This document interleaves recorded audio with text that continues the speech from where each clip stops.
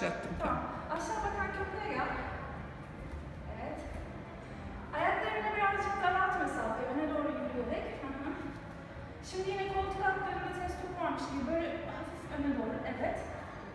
Persinden tutacağım. Tek bacağını yukarı gönder. Evet. Diğer aşağıdakini büküp zıplatıp havaya kaldırır mısın? Hı hı. Ayak bileklerini birbirine yasla.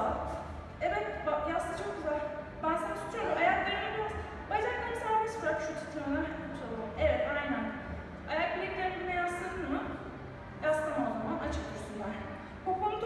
parmağını çeker gibi? Parmağını çeker gibi. Karnı sık, popoyu sık. Ayaklar birazcık şöyle öne gelsin istiyorum. Çok güzel. İyice it kendini.